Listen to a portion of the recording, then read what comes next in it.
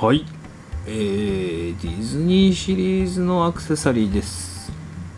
えー、これがザ・キスのシルバーシリーズですね、えーのディズニーコラボシリーズになってます。もう見た目でね、わかりますよね、これね。えーで、ダイヤモンドが1ピースついてるのかな。こちら、この真ん中がダイヤモンドです。こちらですね。あとですね、この、こちらにピンク色のキュービックジルコニア3ピース止まってます。で、こちらがミッキーマウス。で、こちらの方がミニーマウスということで、まあ、ここにね、リボンついてますんでね、えーミッキーとミニーがハートで、えー飾られているというシリーズです。えー全長40センチ、なので通常のネックレスの長さでございます。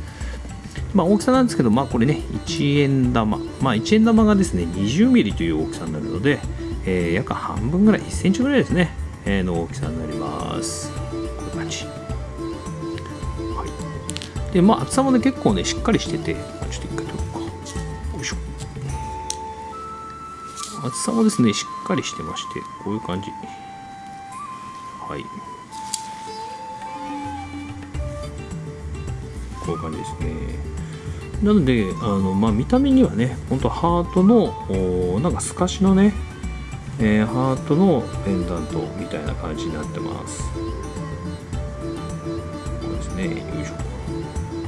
はい。でね、ダイヤモンドね、あとキュービックジルコニがあーキラキラしてますね。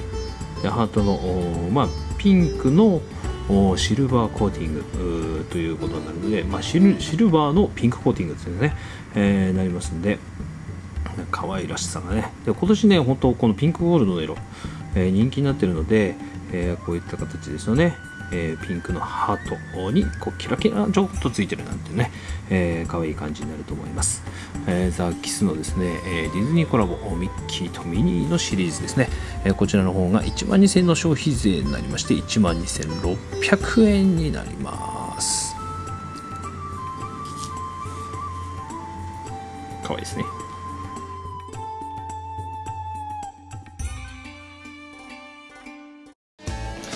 今日はこの ルーペ。ルーペ。はい。はい